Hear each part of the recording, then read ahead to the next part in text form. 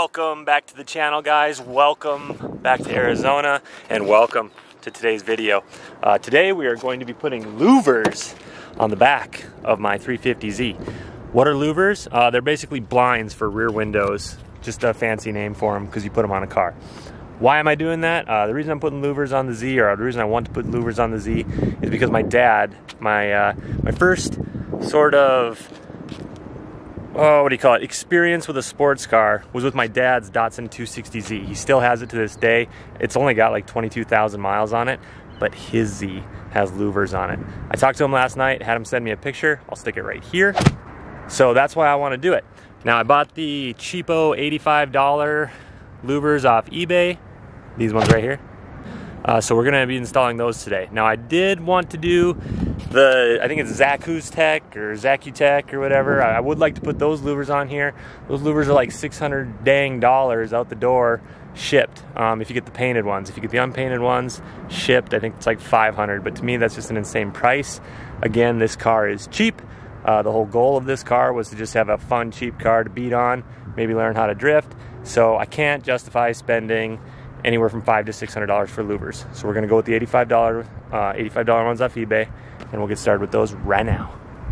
All right, so here are the louvers. Um, just got them out of the box, so we'll probably run down to the car and test fit them quick.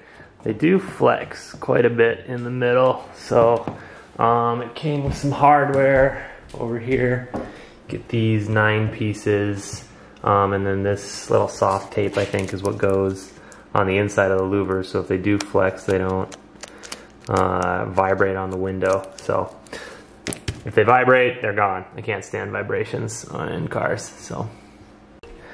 And then I should add these little holes here where all the little pieces of hardware goes. Um, I checked and I am missing a few of the washers that came with it. It's the metal hardware pieces with a stud that comes up and then it's got a cap that you screw down um, and there's a washer that goes in between, but three washers are missing from the kit. Not that big of a deal. I can probably get some new ones. Um, but again, there's quite a bit of play in there. Let's go test fit them. Okay, so first things first, we gotta pop off the rear wiper. So I think you just pop off this little cover with a flathead. This bolt, I believe, is 12 millimeters. It's, it is.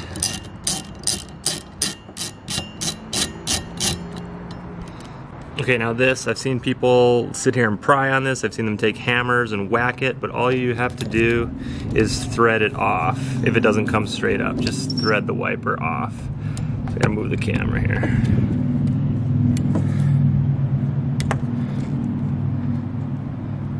Just keep your finger between the body and the wiper.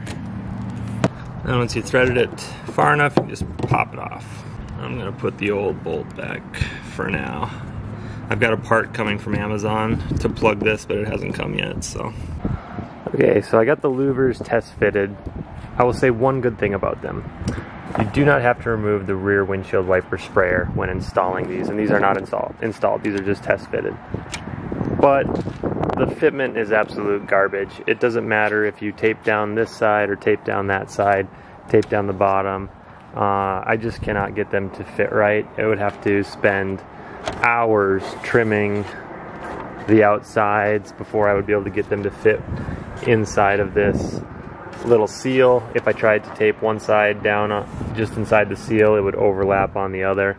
Uh, then the rake on the louver themselves is just a little bit too aggressive. It doesn't quite match the lines of the car. You can see how it just comes, it should slope down more. There's your interior visibility. It's fine as you can see, I mean, they could rake it down more, totally. So I don't think these are the ones, unfortunately. The old saying, you get what you pay for, it's always true. All right, guys. Well, sorry that that didn't work out. Uh, in closing, you know, I I wish someone had the review out there that had warned me not to buy these louvers, so I'm gonna put it out there now so that you don't have to. When it comes to the 85 to $150 eBay louvers, do not buy them. The plastic is absolute trash. The fitment is garbage. Uh, if you have to have louvers, I think you need to talk to Zakuztek.